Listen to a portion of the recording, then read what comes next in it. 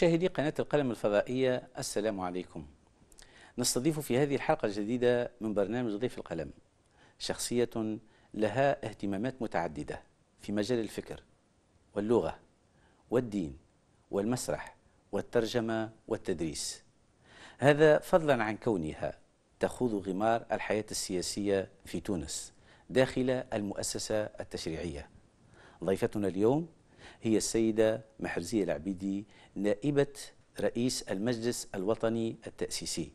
مرحبا بك سيدتي في برنامج ضيف القلم ونشكرك على تكبد عناء السفر من تونس العاصمة إلى مدينة صفاقس.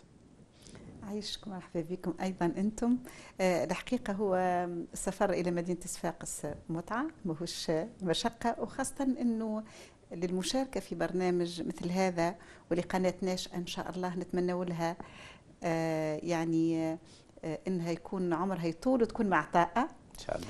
آه هذا كله يخليني أنا متشرفة بحضور هذا البرنامج وإن شاء الله يكون في حوار مفيد للناس اللي تشاهد فينا. نعم هو في واقع الأمر الحوار سوف يكون حول بعض المسائل التي تتصل بطبيعة الحال بالمجلس الوطني التأسيسي ومسائل أخرى من شأنها أن ترتبط بما يجري في المجال الواقعي في حياة المواطن في تونس.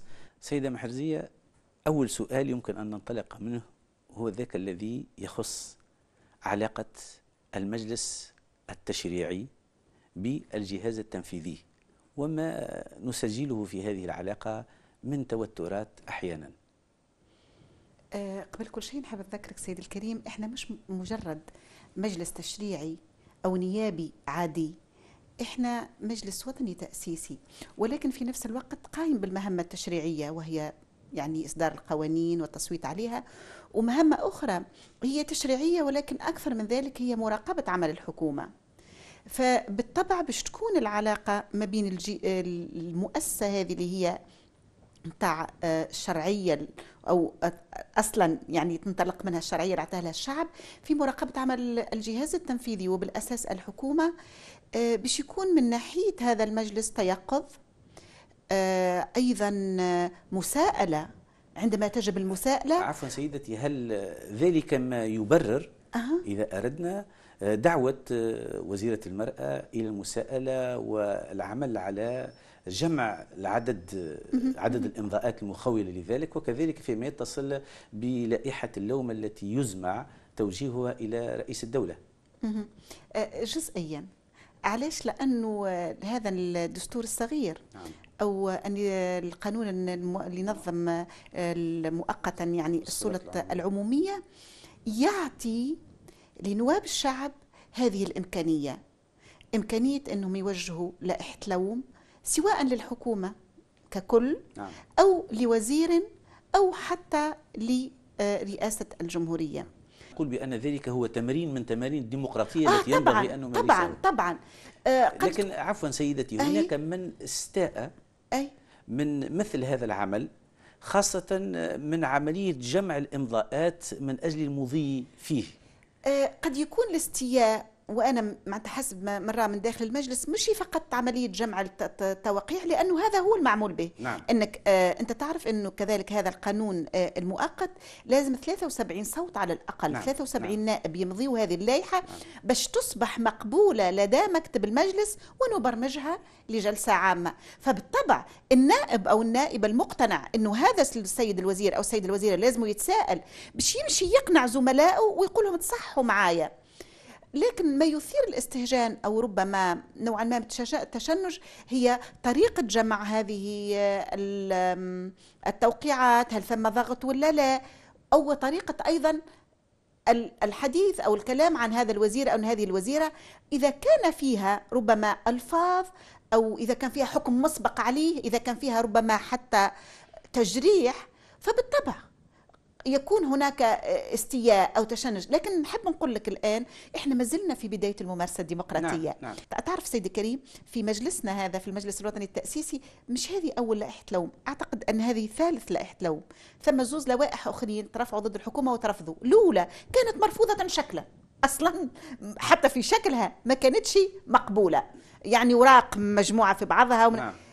وعملنا لهم الملاحظة وقتها مكتب رئاسة ال- ال- المجلس. ومكتبها قال لهم يا أخي معناتها إذا كنا نريد أن نعطي يعني مصداقية لهذه الممارسة يعني تقديم لائحة اللوم نعم. لازم شكليا تكون مقبولة فرفضت شكليا ال- اللائحة الأولى اللائحة الثانية رفضت عفوا قبلت شكليا ولكن بما أنه عدد من النواب تراجعوا عن. تواقيعهم نعم. قبل أن آه، ينظر مكتب المجلس في هذه اللائحة فقد رفضت لأنها لم تصل إلى إلى العدد ال- ال- ال- الكافي. من ال- الموقعين هذه اللائحة قبلت لأنها شكلا مقبولة وفيها العدد الكافي من التواقيع فإن شاء الله مع شعبنا إحنا تعلمنا المساءلة مساءلة الحكومة والوزراء. شفتوها؟ هذه حاجة جديدة. فستكون هذه المرة كيفاش تتمر لائحة لوم وقاعدين زادا وعملنا يعني تقرير قام به السيد النائب الثاني وحضرنا إن شاء الله هذه الجلسة. لكن هنا سيدتي لو كان الأمر كما تقولين لماذا الأغلبية أي؟ متحفظة على المساءلة بعبارة أخرى؟ لو كان كنا نتمرن على تمرين الديمقراطية أه. بالمعنى الذي نحن بصدد الحديث عنه فلما لا يتفق جميع النواب على القبول بمثل هذا المبدأ لا، لا. ثم نرى الأمر فيما لا بعد لا لا هذا تولي ضد أصلا مش من الأصول ال- اسمح لي كلمة لعبة تفضل، هي لكن إن تفضل. شاء الله انجو نوبل يعني لعبة ديمقراطية نعم نعم آه هذه الأغلبية سيد الكريم نف- نفكرك هي اللي صوتت عندها ما يك تو ما عندهاش مدة ما عندهاش الحكومة مدة. شهر. صوتت أعطت الثقة لها الحكومة هذه نعم. إذا الثقة للحكومة بكل وزرائها إذا كان هناك تناسق وتناغم في المواقف آه فبالطبع هذه الأغلبية من حقها إنها ترى في لائحة اللوم هذه لا مجال لها أو أنها لأنه نذكرك وأنا هنا آه، كنائبة رئيس عندنا نواب ونائبات من من الأغلبية اللي قدموا اسئله شفهية للسيدة الوزيرة.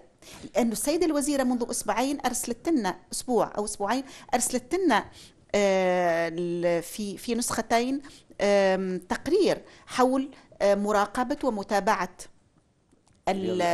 رياض الأطفال. نعم. وفي وفي سادة من الس- السيدات النواب والنائبات اللي يعطوها أسئلة شفهية. وأنت تعرف السؤال الشفهي هو نوع من المساءلة. ولكن عدد من لكنها النواب ليست مساءلة مباشرة وإنما هي مساءلة خفية لا لا مش خفية لا لا هي مباشرة ليست لماذا؟ علنية لأنها أمام- لا لا مساءلة نعم، علنية نعم. السؤال الشفاهي نعم. يأتي الوزير أو تأتي الوزيرة نعم. وتساءل في الجلسة العامة ولكن هي مساءلة ليس لا يتبعها بعد ذلك أخذ. قرار أو نعم، إجراءات نعم. أما لائحة اللوم تمسك بها السادة والسيدات النواب اللي وقعوا هذا حقهم نعم. ومن حق زاد نواب أخرين سواء كانوا في الأغلبية أم لم يكونوا أن يقولوا أنا لا أوقع لأنني لا أرى موجب للائحة اللوم هذه هي قلب الممارسة الديمقراطية لو كنا أنه الناس الكل تقوم بنفس الشيء فلن نعطي يعني حقيقة معناها لمثل هذه يعني الآليات. لأننا لاحظنا وأنتم تعرفون بأن ما يتم في المجلس يعرض مباشرة أي. على شاشة التلفزيون. لاحظنا الكثير من التشنج خاصة في مستوى التعامل مع عملية توزيع الكلمة ومع عملية التوقيت وحتى أنه هناك من يتهمكم بعدم القدرة على تسيير الجلسة. وهذا ما سأقدمه لكم ولو على سبيل الموجز من أجل أن تعلقي على آه،. ما ستشاهدينه. وس- وسيستمر هذا. نعم. طالما ما اعتبرنا عندنا برلمان ما شاء الله فيه سقف الحرية عالي. نعم. سيستمر هذا. نشاهد هذه المقتطفات ثم نواصل. سيد الرئيس سيد الرئيس طالما لم نصوت على الفصل الثالث ثم إمكانية زيادة المطة هذه اللي باش لا يا سيدي صوتنا على الفصل الثالث. صوتنا عليه. ربما حضرتك ما كنتش موجود. صوتنا عليه. نمروا للتصويت على الفصل الثامن. تفضلوا أقل الفصل الثامن. ينتهي العمل بالأحكام الاستثنائية الواردة بهذا القانون بمضي سنة من دخوله حيز التنفيذ. نصوتوا على الفصل الثامن يا سيدي. برمته. تفضلوا. نعم يا سيدي. لا عاد مش نهار كله تو باش ناخذوا نقاط نظام نقاط نظام. مش معقول. لا لا تفضلي السيده سامي عبو. تفضلي. خيرا تفضلي السيده سامي عبو. تفضلي السيده سامي عبو من فضلك اجلس. من فضلك. تفضلي السيده سامي عبو. لا لا لا مش normal أحسن بارك الله فيك. هذا مثال جيد ل- لشبابنا احسنت بارك الله فيك. المرة الجاية شنو باش تلوح علينا يا سيدي؟ بارك الله فيك. تفضلي السيدة سامية. شكرا سيد رئيس. شكرا سيد النائب. احسنت سيد النائب. تفضلي يا سيدة سامية. بارك الله فيك. شنو هذا؟ ما شاء الله. إي تو تنفعهم بالله واحد. احسنت سيد رئيس. تفضلي تفضلي. سيد رئيس آه، سيد الجدلاوي من فضلك. يلا. تفضل تفضلي سيدة سامي عبو. شكرا. إذا سيدة محرزية كما شاهدت هذه هذه اللقطات هي أنت بالذات. وفي لحظات عصيبة داخل المجلس نراك هنا أنك قد بلغت درجة عليا من الانفعال.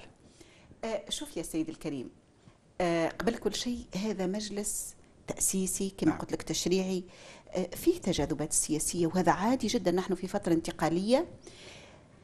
مجلس بدأ يتكلم فيه النائب بحرية بعد سنوات صمت بل أقول عقود صمت.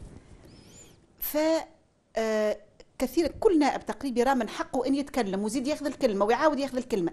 أما مهمتي أنا كمترأس الجلسة وأنتم لاحظت ليست معي فقط نعم. لو عرضت زملائي السيد رئيس المجلس نعم. أو سي مصطفى. بن بن جعفر أو السيد النائب الثاني سي العربي عبيد لتجد تقريبا تقريبا نفس آه، المرات التي نتشنج فيها أو وهذا عادي جدا لأنه مسؤوليتنا إحنا أنه نتقدم في المصادقة على قانون ومناقشته نعم.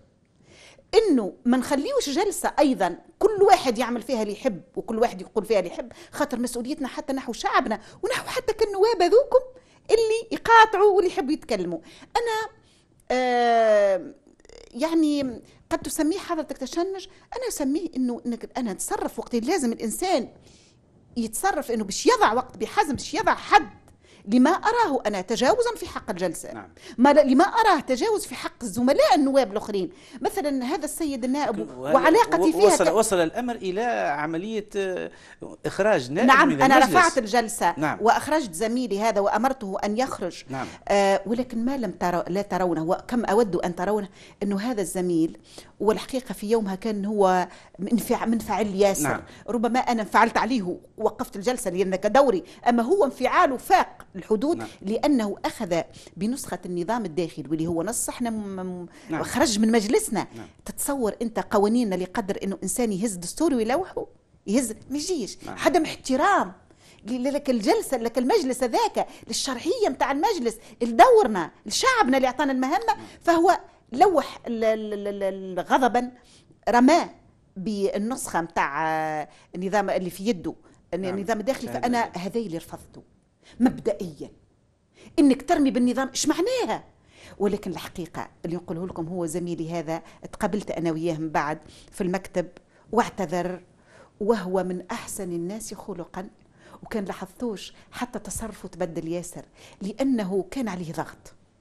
كان عليه ضغط وتجاذبات سياسية وناس تحبوا تجبدوه ليه ليهم ونا ولكن أنا أحيي فيه إنه بعد ذلك لما جاء واعتذر كانت تفكروش إنه بعد ذلك كنت نتمنى انكم تمر تمروها نعم. رجع للجلسة واعتذر نعم. رجع للجلسة واعتذر اذا إيش قاعدين نعملوا قاعدين نتعلموا في الممارسة الديمقراطية الصحيحة رغم تشنجاتنا رغم يعني مقاطعة البعض رغم إنه أحيانا أنا مثلا قلت لا نقاط النظام لذلك في في ذلك اليوم طلبوا نقاط نظام بغير حساب وأنا عندي مسؤولية شنو مسؤوليتي سي- الناس نعم. تستنى في قانون أظن ذلك يعني ذيك كانت الجلسة بخصوص قانون الجرحى نعم. ناس تستنى في قانون ناس يعني آه، حاجتهم إنهم يتشغلوا حاجتهم إنهم تعطى لهم تعويضاتهم إنهم يتم انتدابهم إنه يتم النظر في حالتهم حاجة يعني ملحة. نعم، ومستعجلة. نعم، وأنا أضع ذلك نصب عيني. نعم لكن سيدتي هنا أي. إذ تتحدثين عن الديمقراطية. أي. فيفترض أن تكون جميع الأطراف السياسية أي.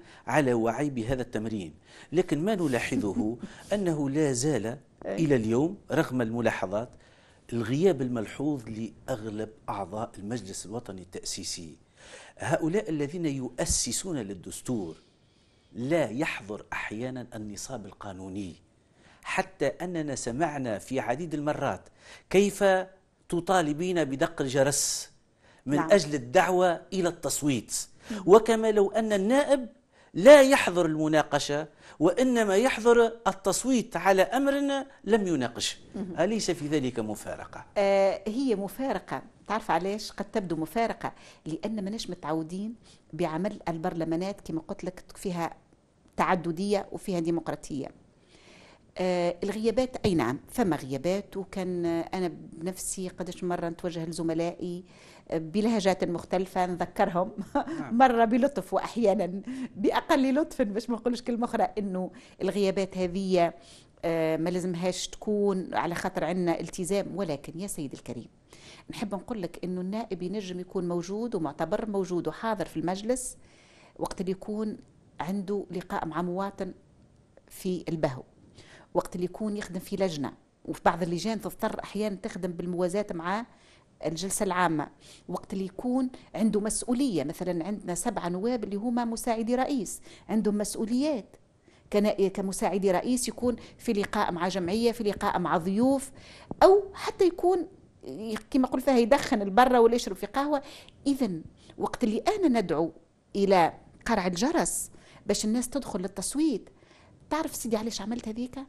ذلك ما رأيته من تقاليد البرلمانات الديمقراطية لما زرت إنجلترا لما زرت فرنسا لما زرت آه، العديد من البلدان الإسكندنافية الأخرى. نعم. إنه النائب آه، وأود إن شاء الله باش يكون هذا في مجلسنا باش نحاولوا آه، تكون عندنا مثل آه، هذا الإجراء هذه الإجراءات أكثر من ذلك. أن يكون عندنا يعني آه، شاشات في البهو. وكذلك في المقهى. وكذلك في القاعات اللجان.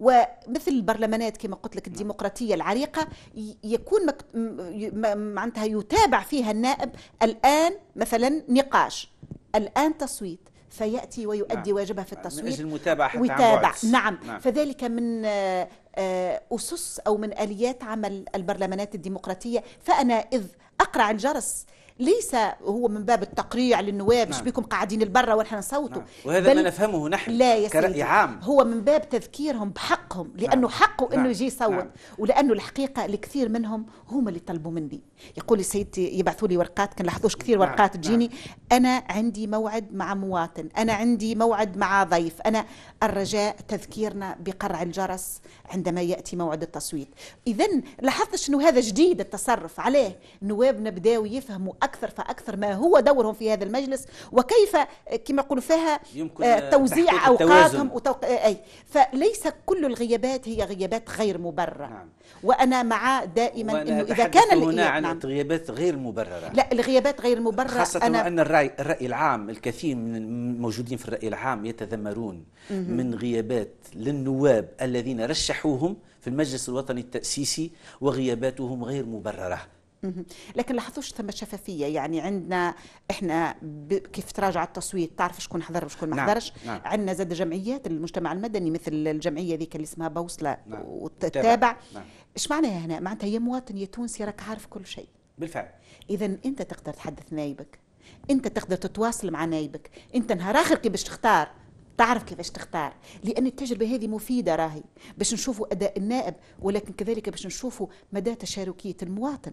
كيفاش المواطن يتابعنا وما نحبش فقط تبقى انفعالات أنا أقول أحيانا يقول لي هناك كثير من التشنجات في المجلس ومناقشات وحسن الصوت يعلى قد يكون أما الأمر خير. عاديا يكون- خير وهذا نعم. وهذا أيضا نعم. في كل نعم. البرلمانات نعم. لكن لا لا هنا ولكن اسمح لي. إنه آه، أما خير يكون عندنا برلمان فيه مثل هذه النقاشات وكل واحد يدلي برأيه. ولا برلمان الصمت كما كان مسبقا والناس تهز يديها باش تقول موافقة واحيانا ما هيش عارفة علاش موافقة. لكن ما من ناحية أخرى سيدتي هناك خشية أي؟ من عدم إتمام الدستور في موعده المحدد خاصة وأن هناك تقريبا تاريخ ضبط وهو بداية جويليا من أجل إنهاء الدستور. هل أنتم ملتزمون بالوصول إلى هذا التاريخ؟ وعدم تعديه آه طبعا. آه أنا نحب نذكرك هو إنه هالرزنامة هذه راهو مش فرضها مكتب المجلس ولا كما قالوا البعض يعني آه ربي يهديهم قالوا هذه رزنامة آه، سي مصطفى بن جعفر. لا لا هذه رزنامة المجلس. إحنا منذ بداية شهر فيفري طلبنا من كل كتلة برلمانية بل أكثر من ذلك طلبنا حتى من السادة النواب اللي نعم. يحبوا يعطيوا يعطيو تصورهم لرزنامة المجلس. كيفاش باش نتقدموا بال- بالتواريخ وبماذا نفعل. نعم. فجاتنا هذه كل المقترحات من كل الكتل. كيف نظرنا لهم لقيناهم متقاربين ياسر ياسر ساعات يختلفوا نهارين ثلاثة. فكان كلفنا الثلاثة مساعدين متاع الرئيس المكلفين بالإدارة والمالية باش يعملوا لنا رزنامة حوصلة لهذه الرزنامة وتلك هي الرزنامة اللي آه، طرحناها. آه، آه، إحنا عندنا مواعيد. عن قبل كل شيء موعد 27 أفريل. نعم. شنو باش يصير فيه موعد 27 أفريل؟ إن شاء الله إنه تن تنهي الهيئة العليا للتنسيق وصياغة الدستور اللي يشرف عليها سي مصطفى بن جعفر ومقررها سي حبيب خضر المشروع الرسمي للدستور. إحنا أعطينا 10 أيام للجان التأسيسية آه، باش يدمجوا نتائج النقاش العام اللي تبعتوه معنا نعم. النتائج الحوار الوطني. نعم. اللي كذلك كثير في كثير من الجهات صار تنقل وحتى في. الخارج نعم والبارحة عملنا يعني لقاء مع كل من ساهم في إنجاح هذا ال- الحوار. ال- الحوار نعم. الوطني وخاصة المنظمة الأمم المتحدة البرنامج الأمم المتحدة الإنمائي وكذلك السفراء متاع البلدان اللي عاونونا نعم. في هذا إذا نعطينا 10 أيام انتهى إنه إن- انتهت العشر أيام العشر أيام هذية نعم. والمهلة ذي وتوا عندها ثلاثة أيام ولا أربع أيام بدات ال- الصياغة آه، أجل في اعداد أي- اليوم 27 افريل أي اذا إن شاء الله يوم 27 يكون عندنا المشروع متكامل وسيتم زاد آه، قراءته من طرف خبراء في الصياغة القانونية. نعم. وفي اللغة العربية بعد ذلك أظن نعطي نهارين ثلاثة باش اللجان تعاود تطلع علي عليه ماك تعرف الكلمة الأخيرة لازمها تكون للجان للجان التأسيسية نعم. للنواب الشعب نعم. وبعد ذلك يودع في مكتب الضبط ويصبح على ذمة المواطنين الكل وعلى ذمة النواب ويودع نسخة منه لدى رئاسة الجمهورية ولدى رئاسة الحكومة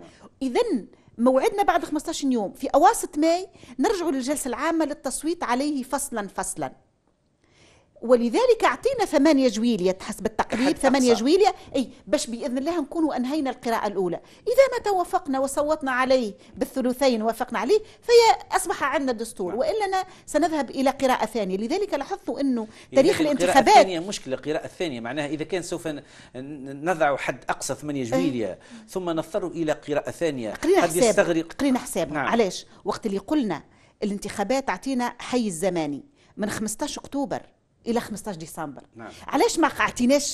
آه، تاريخ واضح دقيق. اولا باش نراعيو إنه دور الهيئة العليا للانتخابات اللي تو قاعدين نفرزوا في ترشحاتها نعم. اللي هي لها دور في تحديد رغم موعد الانتخابات. التي أحيطت بها هي ثم حاجة من غير ما آخذ نعم، تعرف علاش ما مآخذ، آخذ نعم. خاطر كله قدام الناس كله نعم. قدام منظمات المجتمع المدني وأنا نخير المؤاخذات تجي توا خير من تجي بعد نعم، أي نعم. اذا نعطيه دور لك الهيئة ذيك ثم حاجة أخرى نعطيه فرصة لنا إذا لم تتم الموافقة في قراءة أولى باش تكون قراءة ثانية نعم أي. هنا سيدتي سوف أنهي الحديث عن أه. المجلس الوطني التأسيسي معكم بهنا توجيه أحيانا آه، لشخصكم آه، عدم توخي الحياد أثناء توزيع الكلمة فأنت لا، مش كثيرا. ما تعاملين أي.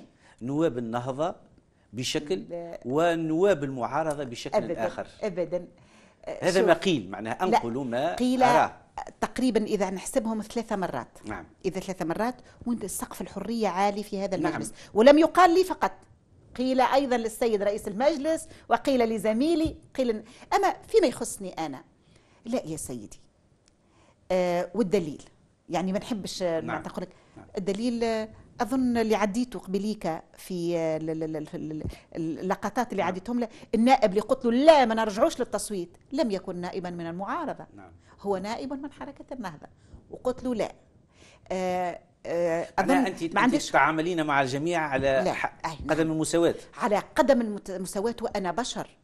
وأنا أيضا في تعلم هذه الممارسة الديمقراطية وترأس جلسات بهذه الصعوبة. نعم. وأنت ترون أنه أحيانا شاهد. أحتاج حقيقة لكثير من آه، التحكم في نفسي لأتحكم في الجلسة نعم، نعم. ومع احترامي لكل زملائي لا لا ما عنديش آه، أنه على خاطره ننظر هذا نائب من المعارضة لا, لا. أنا عادة للنظام الداخلي كما أنا أنا كما زم- زميلي ولكن هناك سلطة تقديرية لمن يترأس الجلسة بطبيعة ما يجيش. عبد ياخذ نعم. خمسة مرات الكلمة والآخر ما يتكلمش نعم. خلاص نعم.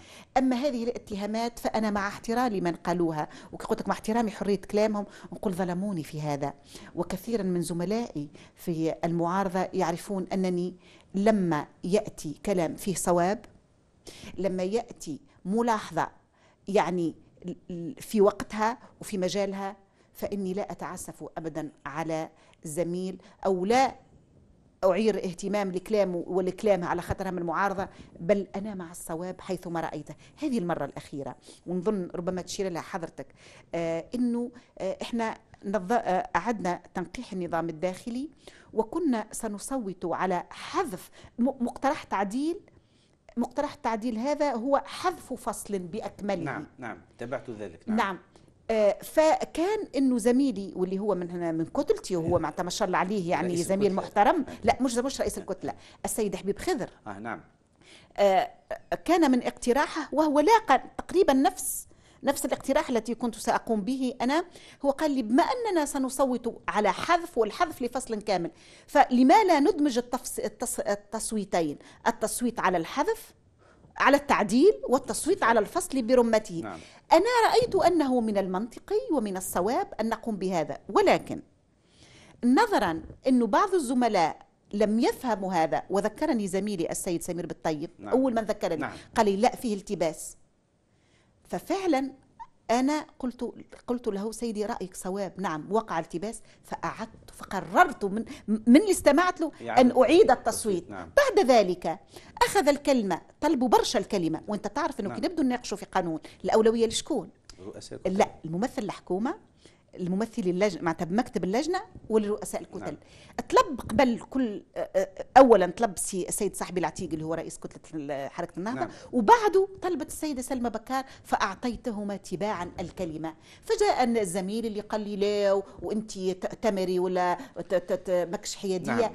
هو حر هذه هي الديمقراطية إن يكون حر ولكن أنا أيضا حرة وأنا أيضا لي الحق أن قوله ظلمتني في هذه يا زميلي فأنا لم أحابي أحد ولم أمل إلى شق إنما ملت إلى الصواب. هنا بمناسبة الحديث عن المعارضة. آه، هل تعتبرين أن النهضة نجحت في الحفاظ على إدامة الترويكا؟ أم أن المعارضة أخفقت في تفكيكها؟ آه هذا السؤال يعني آه إذا جاوبت منه مشكلة وإذا جاوبت منه مشكلة. أعتقد أنهم ن- نجحوا إلى حد ما وأخفقوا إلى حد ما. هذا هؤلاء نجحوا إلى حد ما. لماذا؟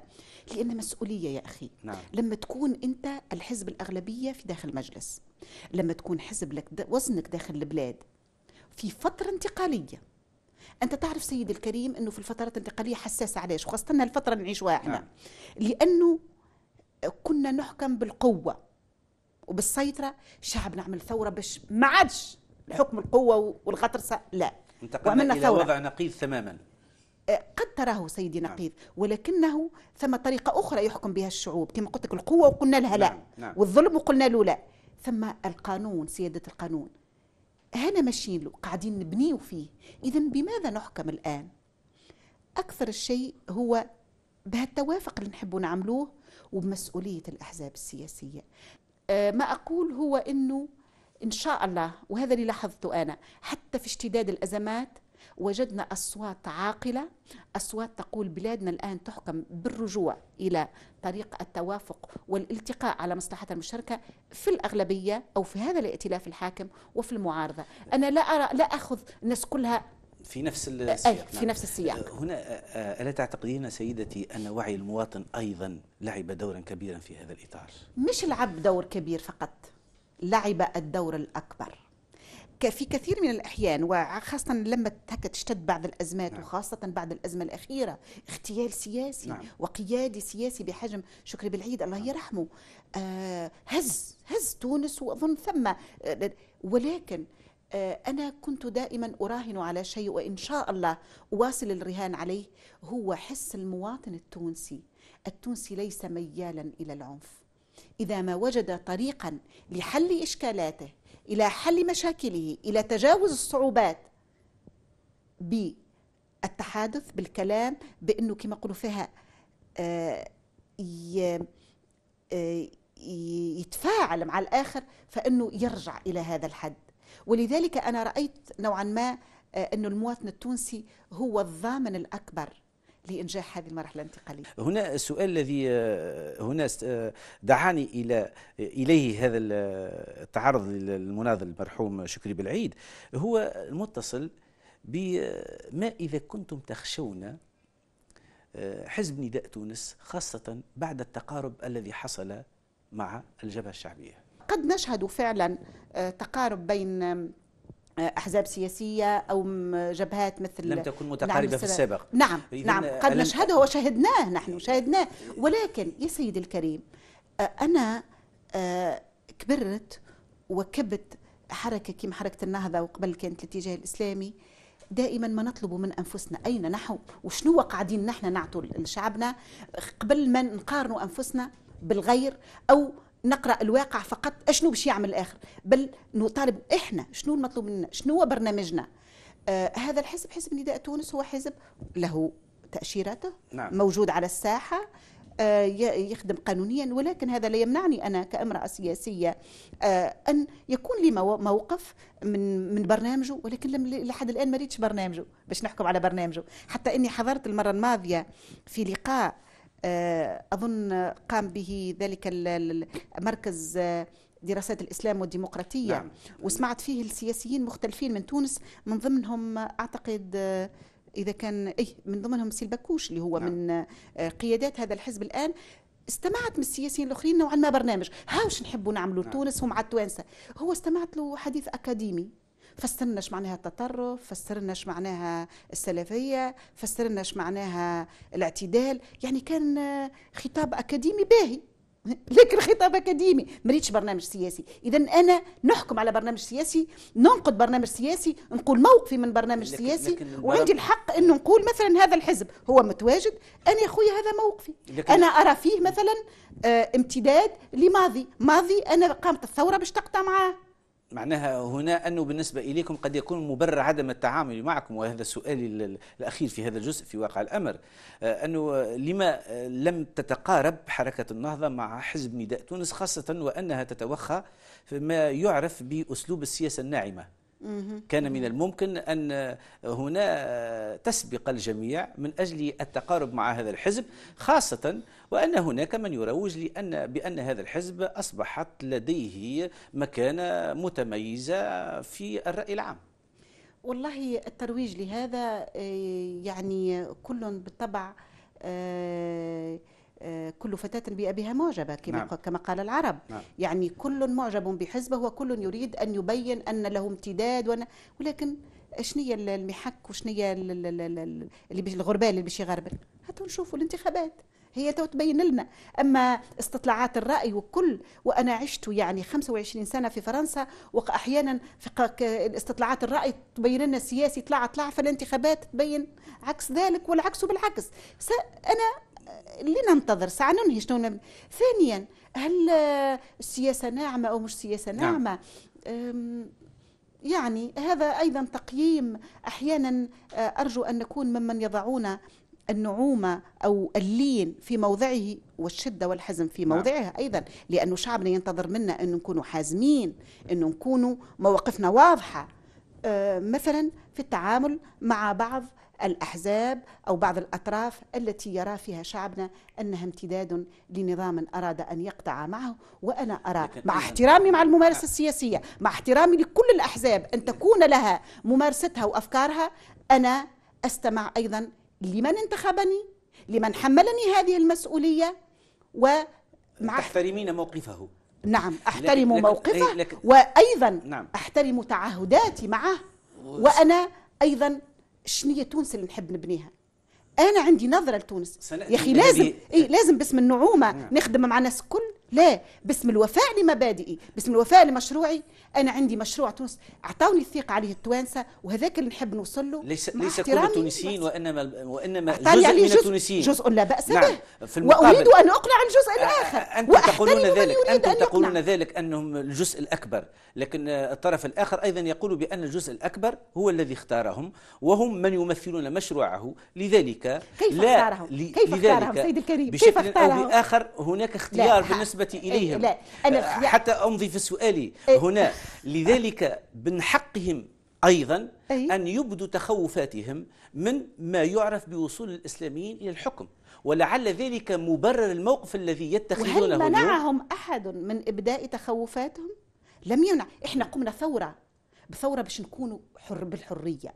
شوف سيد الكريم بالله خليني نعطيك البارح موقف عشته في نعم. المجلس الوطني التأسيسي يجسد هذا نعم. أنا البارح في المجلس الوطني التأسيسي بعد ذاك آه، وأنا في مرة بالردها الباهو الكبير لقيت آه، آه، معهد نموذجي جاي يزور المجلس تلامذته نعم. عاد التلامذة شافوني يس نحب نقام نحكي معاك يسألوني كل شيء على عملي على دراستي على الأسئلة كله على نعم. العلاقات نعم وطولوا معي شوية. فكنت ألاحظ إنه السيدة المرافقة لهم لا اعتقد لا أظن هل هي لا أعرف هل هي كانت أستاذة أم قيمة. نعم. المهم المرافقة لهم حسيتها أنها تستعجل فيهم. نعم. فاحترمت الحق موقفها توقيت. لأنه وقت توقيت و... ولكن فاجأتني إنها جات حكيت معايا. أنا سلمت عليها قالت لي هكذا بدون أي مقدمات. أكثر أكثر تلامذتنا يكرهوا النهضة. فأنا نظرت لها قلت لها وبعد؟ قالت لي ولا رغم ذلك هاكم جاوا يحكيوا معاك ربما اذا انت مختلفة. مختلف طيب. وبعد ذلك آه، رأت إنه من الصالح يعني أو ربما من المفيد ان تقولي وحتى أنا زاده متخوفة ونكره هذا الحزب. آه، وبعد قلت لها وبعد. في هذا قلت لها. وبعد. اي قلت لها وبعد سيدتي. قلت لها شوفي آه، فكانت قالت لي هذا الكلام وعلى وجهها إن إنتظار ونوعا ما تخوف. قلت لها شوفي يا سيدتي قامت هذه الثورة ليكون الحق لسيدة تونسية مثلك. أن تكون هنا في المجلس الوطني التأسيسي. واقفة قدام امرأة آه، آه، تونسية كيفها آه، عضو في حزب له أغلبية وتقول لها أنا حزبك متخوفة منه. وتحييها هذه المرأة وتقول لها من حقك تقول هكا. لأنه قامت الثورة وقامت يعني ثورة الحرية والكرامة باش كل واحد يحد عنده عنده عنده الحق في قول هذا. فأنت قولي هناك من متخوف من هذا نعم. المشروع نقول له اسألني أين موقع تخوفك؟ اسألني مناش متخوف وواجبك السياسية أني نرد وآمل أني أقنعك. فإن لم أقنعك فأنت حر أن يبقى لك موقفك. ولكن شنو الفيصل ما بيناتنا؟ يا أخي مشروعي ماكش موافق عليه. لا تختاره واختار مشروع آخر. هذه هي الديمقراطية نحب نعم, نعم نبنيوها لكن هنا تخوفهم بالنسبة إلى البعض مثلا وأنقل هذا التخوف أي. يتصل بمكاسب آه، تخص المرأة بحقوق آه، جاءت بها الحداثة إلى غير ذلك. وهذه الرؤية الإسلامية بالنسبة إليهم يمكن أن تسبب حجر عثرة أمام المضي في مثل هذه المكاسب. سوف آه، نتابع الحوار مع بعضنا بعد هذا الفاصل.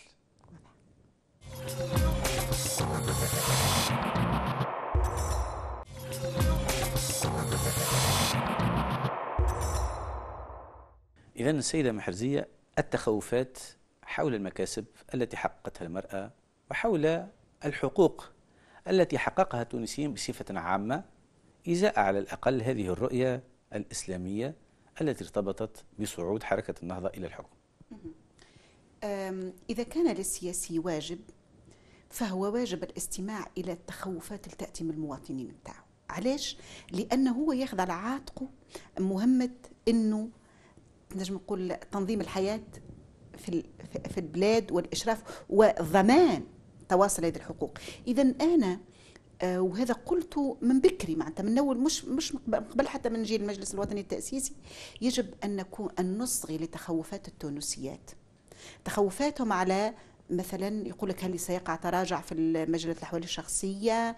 هل المرأة التونسية ستخسر مواقع؟ أنا نقول لهم كما يقول ال- ال- المثل التونسي يا بياع تبيع كل شيء بالحذر. نعم. طيب نرجع لها الحركة هذه ذات المرجعية الإسلامية اللي هي حركة النهضة. ونشوفوا كيفاش تعاملت مع المسألة دي مسألة المرأة ومجلة الأحوال الشخصية مش من تو من نجم تقول 25 ولا 30 سنة الماضية أنا نحب نذكر بوثيقة مهمة في 88 يعني وقت النهضة مازال كي بدلت اسمها نعم. نعم. ولا اتخذت اسم النهضة ولا حزب سياسي من اللي كانت حركة به. إسلامية نعم، نعم. دعوية نعم. نعم. إلى آخره ثقافية تجد أنها آه، تضع مجلة الأحوال الشخصية كمكتسب من المكتسبات المجتمع التونسي مش المرأة التونسية فقط المجتمع التونسي بل تنزلها منزل القراءة ال ال ال الإصلاحية في الفكر الإسلامي المالكي وهنا نحب نذكر الصحيح أنه كانت بإرادة سياسية إرادة آه، الحبيب بورقيبة الله يرحمه اللي آه، كمؤسس للدولة الوطنية أنه عدى هالمجلة هذه وأنتم تعرفوا اللي هي سابقة الدستور نعم. هي في 56 والدستور كان في 59 فكرس هذه يعني المجلة. المجلة, لكن ولكن بإشراف بعض الزيتونيين ولكن حينئذ. نعم. قبل كان ثم عمل سابق الشيخ جعيط عبد نعم. العزيز شغي- جعيط الشيخ بوحاجب آه، الشيخ العنابي نعم. اللي آه، معناتها هو أب المحامي المعروف الآن آه، سي سمير العنابي والشيخ فاضل بن عاشور نعم. بالطبع إنه هما أيضا اعطاوا دفع المحتوى هذه المجلة مجلة. هذه وأشرفوا عليها اسمع إذن هي ولدت من رحم المدرسة الإسلامية الإصلاحية نعم. التونسية اللي إحنا نجم تقول فيها أيضا امتداد لها وخذينا منها واللي هي معناتها نرتكزوا عليها. هي مركزة الفكر الزيتوني.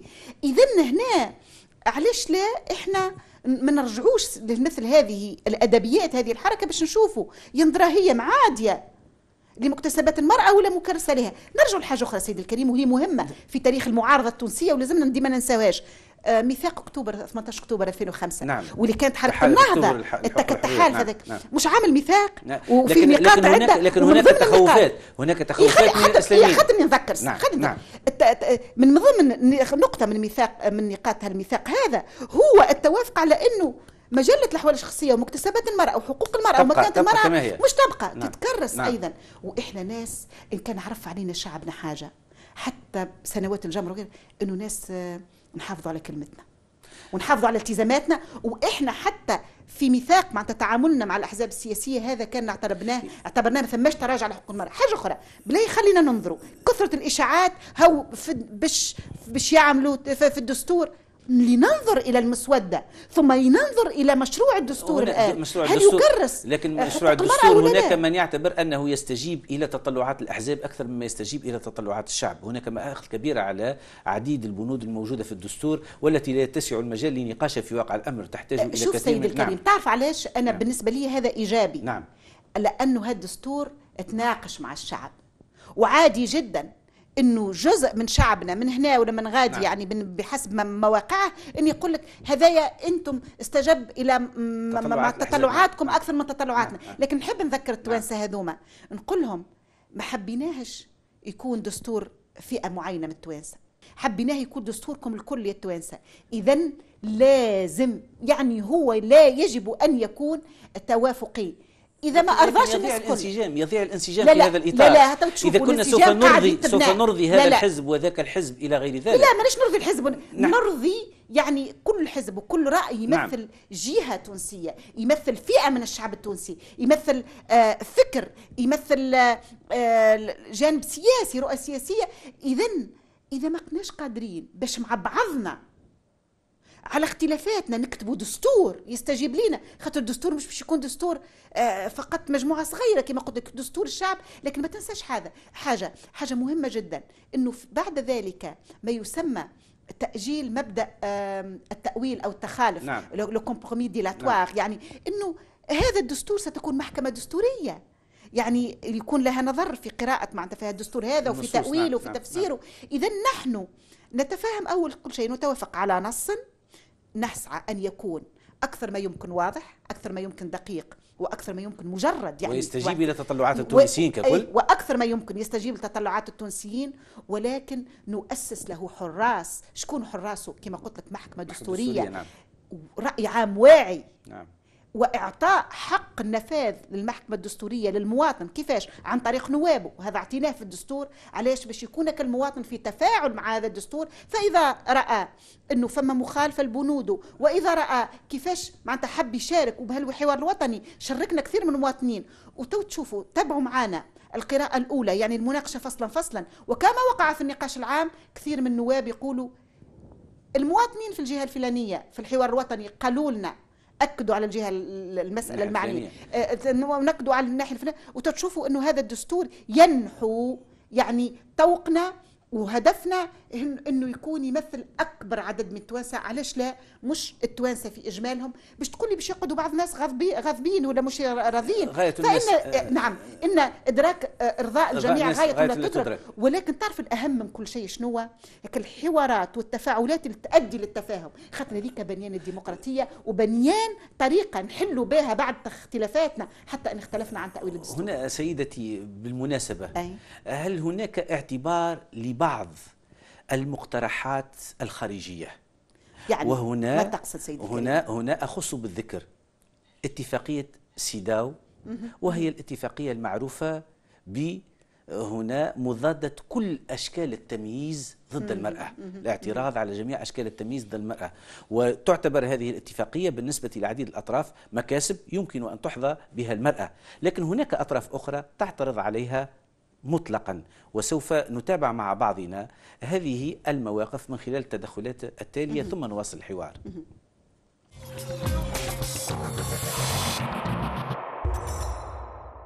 ما رأيك في اتفاقية سيداو؟ أنا مع اتفاقية سيداو بحكم مطلب الدول المدنية.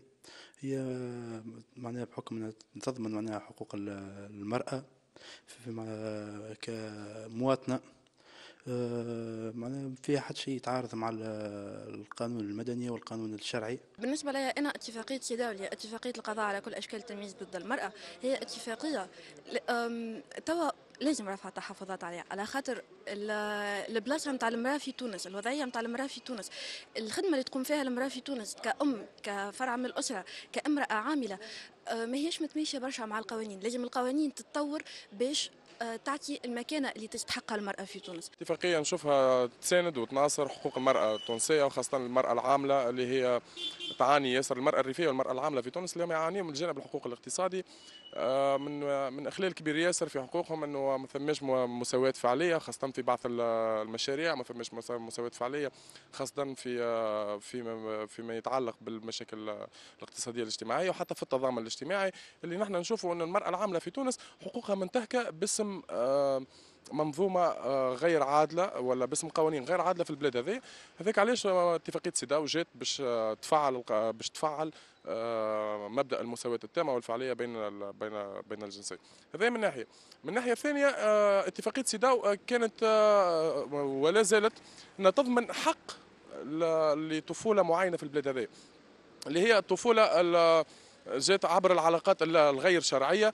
آه لهنا نلقاو إنه جانب الطفولة هذه تظلم ياسر وهي ما عملت حتى شيء سوف كو إن هي غير آه معناها آه نتيجة علاقة غير شرعية. لذلك اتفاقية سيداو كانت تحمي في جانب كبير ياسر من الشباب هذوما. اتفاقية سيداو هذه اللي صدرت آه، عن الأمم المتحدة في ديسمبر 79 واللي صادقت عليها تونس في وقت من الأوقات مع تحفظات.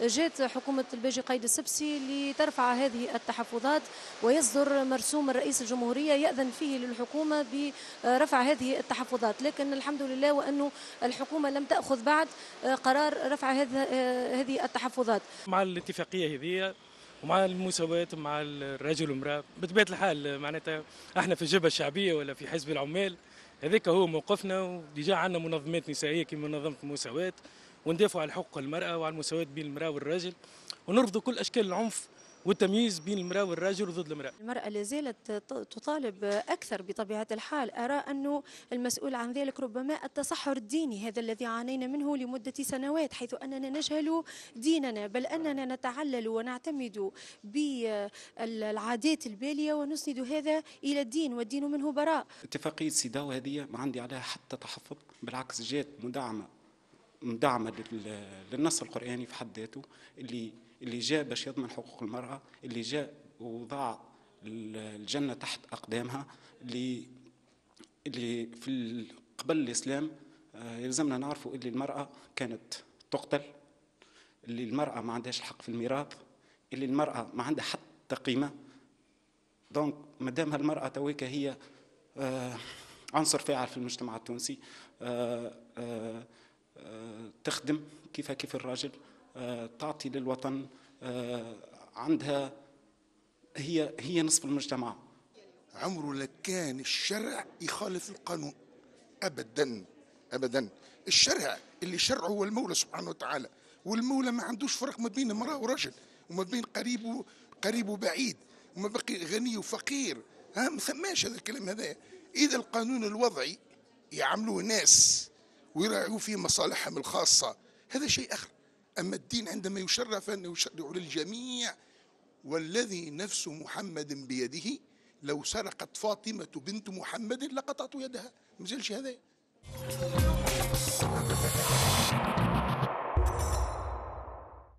إذا سيدتي اتفاقية سيداو فقط أذكر قبل أن تجيبيني ببعض ما ورد في هذه الاتفاقية في مستوى المادة 2 الفقرة واو تقول اتخاذ جميع التدابير بما في ذلك التشريع لتعديل أو إلغاء القوانين والأنظمة والأعراف والممارسات القائمة التي تشكل تمييزا ضد المرأة ثم المادة 16 الفقرة واو نفس الحقوق والمسؤوليات فيما يتعلق بالولاية والقوامة والوصاية على الأطفال وتبنيهم ما رأيكم؟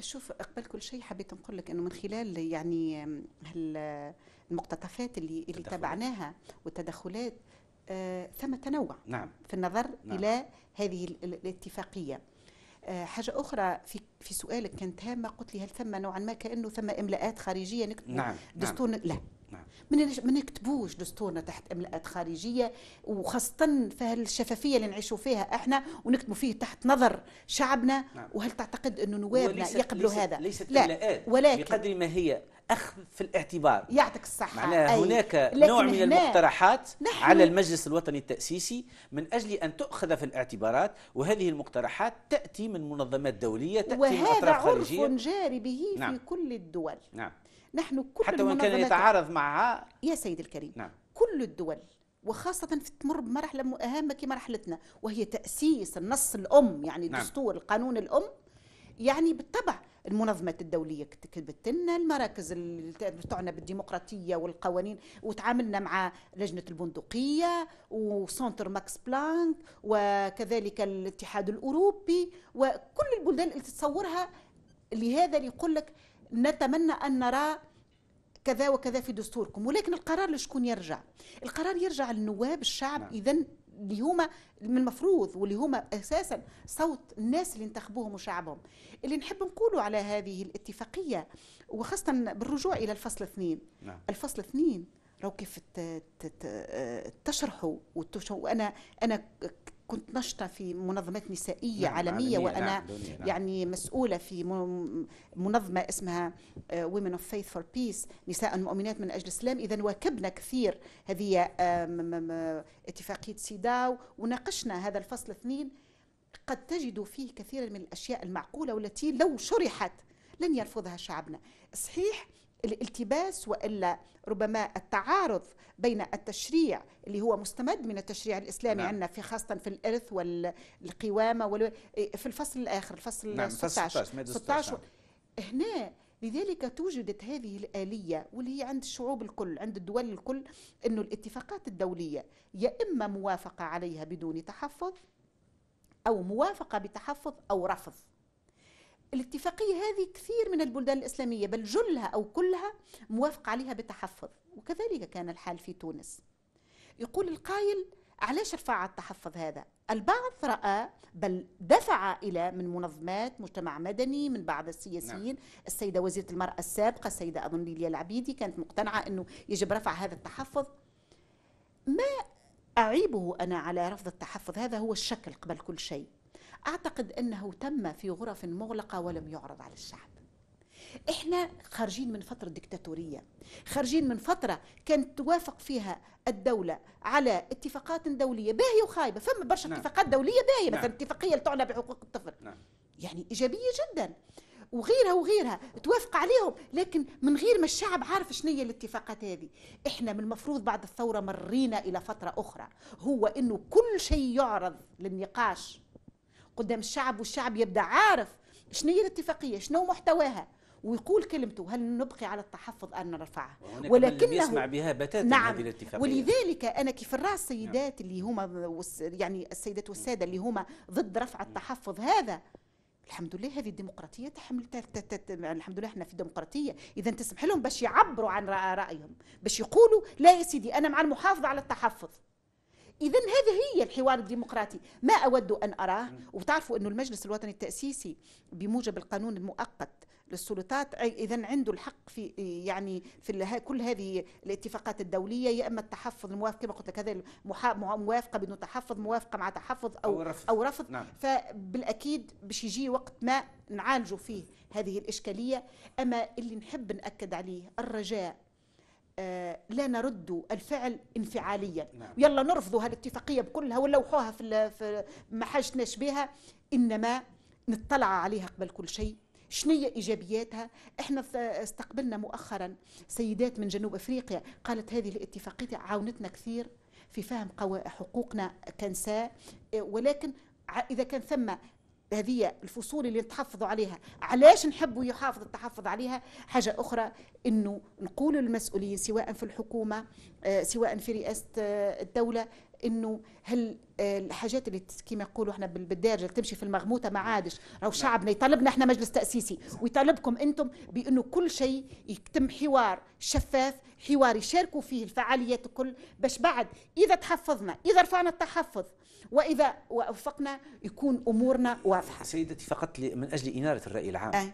هل معنى ذلك أنه هذه الاتفاقية يمكن أن تكون فيها أشياء من شأن المجتمع أن يرفضها فلا تفرض وهناك أشياء وعلى ذلك وجد الموافقة بالتحفظ وعلى ذلك وجدت نعم. هذه سوف نتحفظ إزاء فصول ويقع تعديل هذه الاتفاقية ولا تتم المصادقة لا عليها لا, لا لا الاتفاقيات الدولية لا تعدل لا تعدل نعم. كل الاتفاقات الدولية علاش نعم. خاطر ماهيش انت عاملها الاتفاقية نعم. هذه هذه عاملتها الأمم المتحدة. ومتفاهمين عليها آه عديد كثير الدول عديد من الدول نعم. ولكن ثم الآليات آلية كما قلت لك الموافقة دون تحفظ تقبلها نعم. كلها وفما تح... موافقة مع التحفظ مع معناها ثم أشياء لن نعم نقبلها نعم هذا نعم ما أردت أن أوضحه نعم موافقة مع تحفظ وفما رفض. نعم. ورو هذا يندرج على متفقات أخرى مثلا بعض الاتفاقات المالية تعني نعم. الجانب المالي والجانب نعم. التجاري.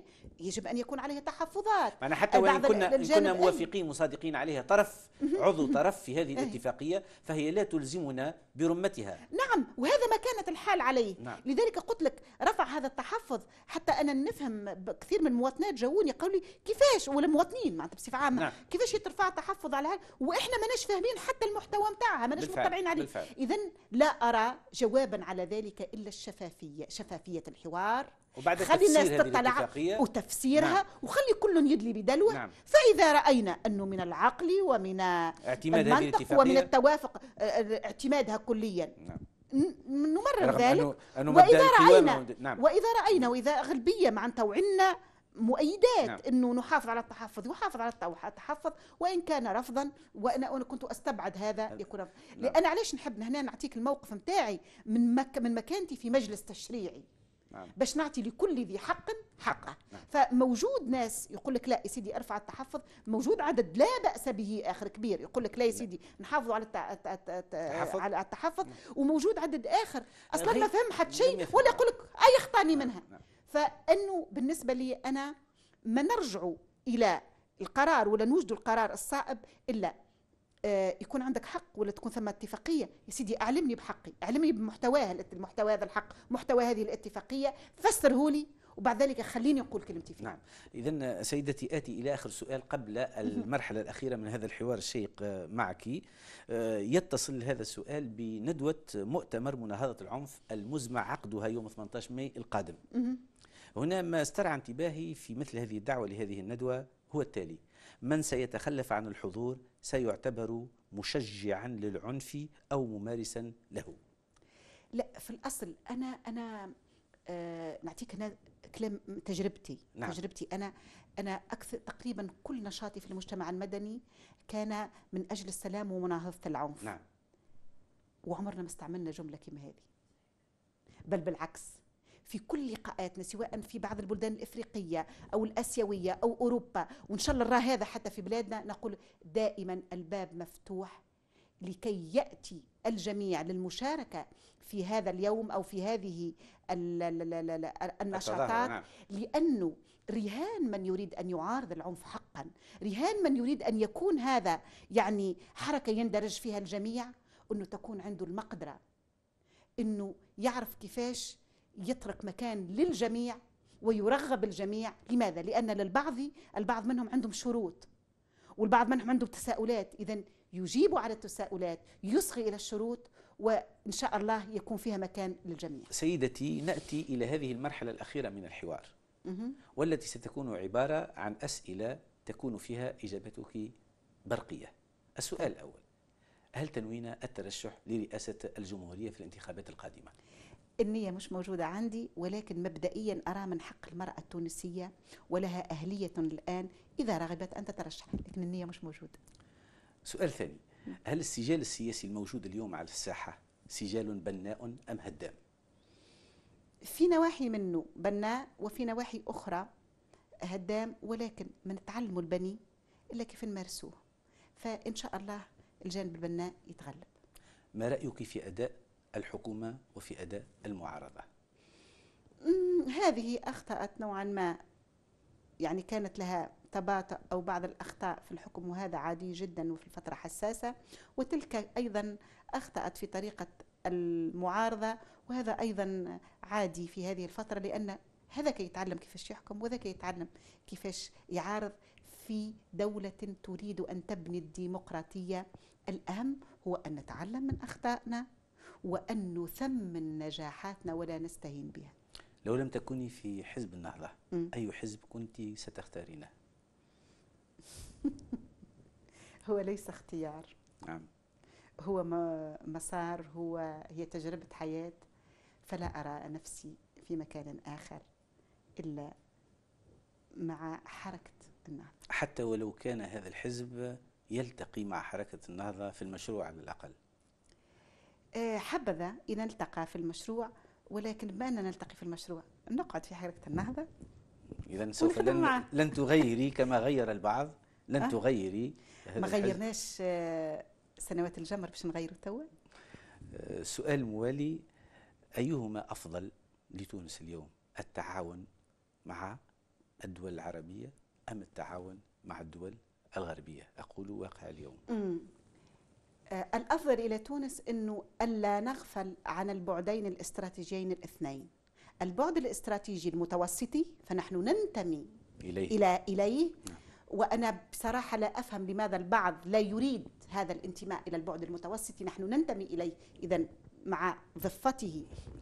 الأوروبية. أش- ولكن أيضا يجب ألا نغفل عن البعد العربي وأضيفه الإفريقي.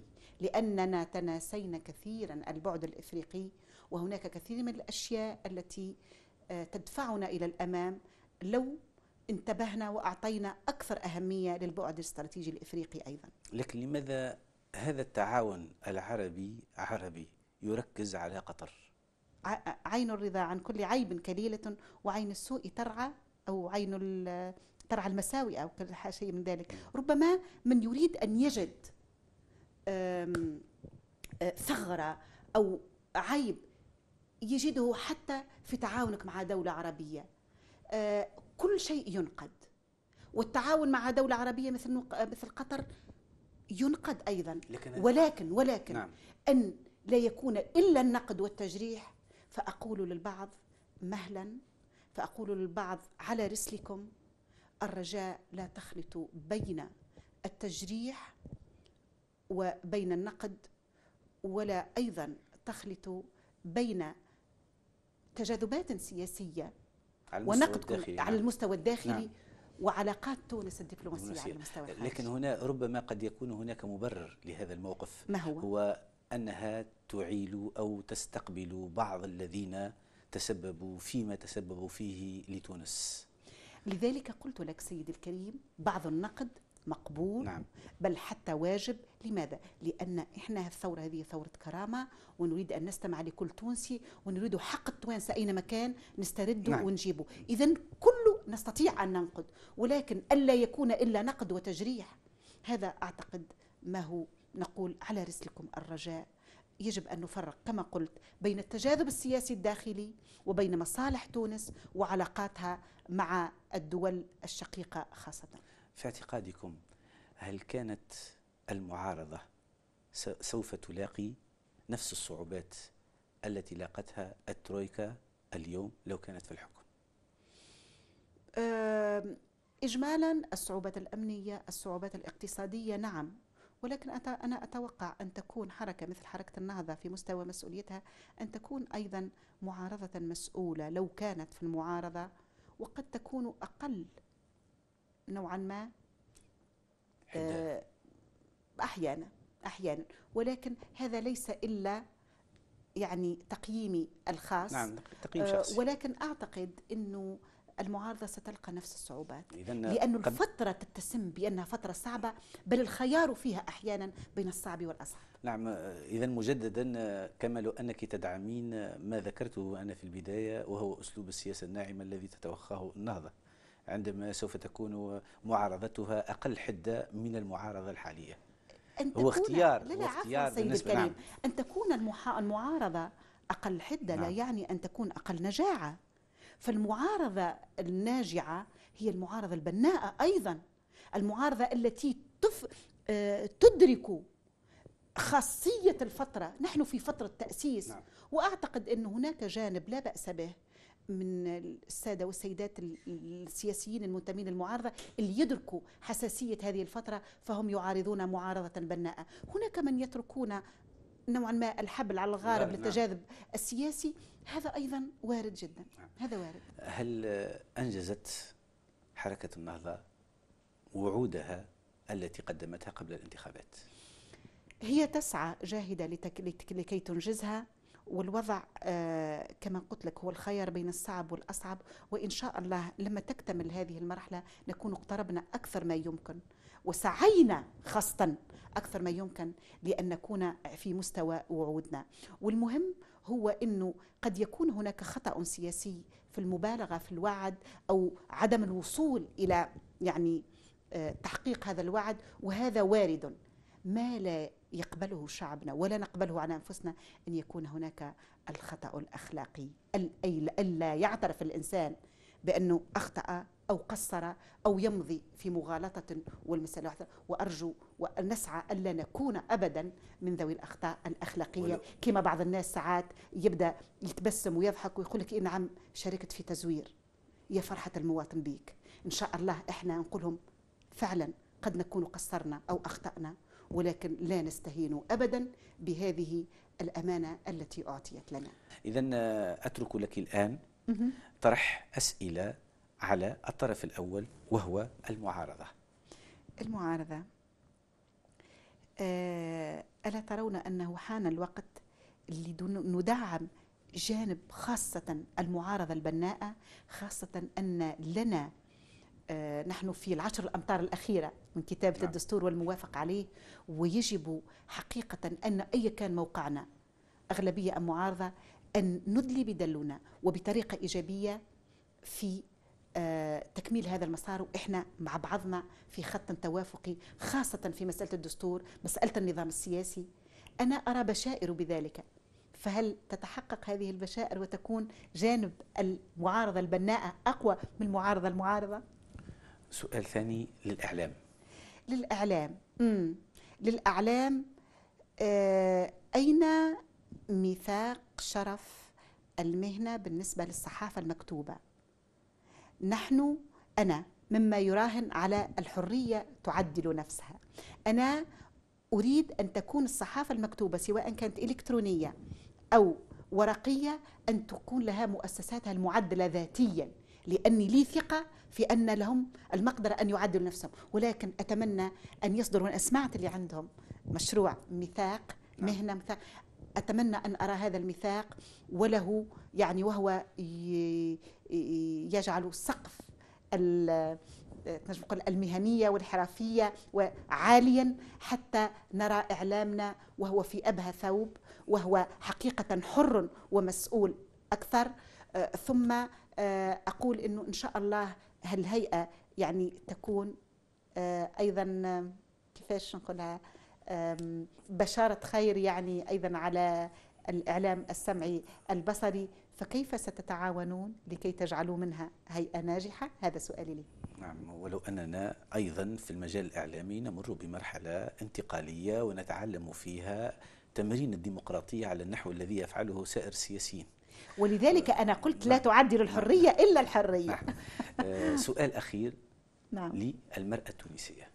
المرأة التونسية نقولها من حقك تخافي لكن في وقت سنوات الجمر ثم نساء ما خافوش واصروا على حقوقهم وعلى حقوق اولادهم وحقهم في التعليم في الشغل في إنه تكون أفكارهم احرار ونساء هذوما ساهموا في إنه جابوا الثورة. اذا متى ستصمين آذانك أو تنقصين من السماع إلى صوت الخوف لتستمعي أكثر وأنت أهلا له لصوت الجرأة لأن تونس في حاجة إلى امرأة تونسية جريئة وهي فعلا بل أكثر جرأة وإلى امرأة ونساء تونسيات يعرفن ما هو المشترك بينهن ويدافعن عن هذا المشترك. يجب أن نقرب من بعضنا أكثر نستمع لبعضنا أكثر وسنكتشف أن ما يجمعنا أكثر مما يفرقنا. أشكرك سيدتي على هذا اللقاء وأتمنى لك التوفيق في حياتك السياسية. شكرا وأتمنى لكم التوفيق لهذه القناة الشابة وشكرا لمستوى هذا الحوار. كان ممتعا حقا. مع الشكر. صعب أحيانا ولكنه ممتع. مع الشكر. أعزائي المشاهدين هكذا نأتي إلى خاتمة هذه الحلقة. على أمل اللقاء بكم في موعد قادم. إلى اللقاء.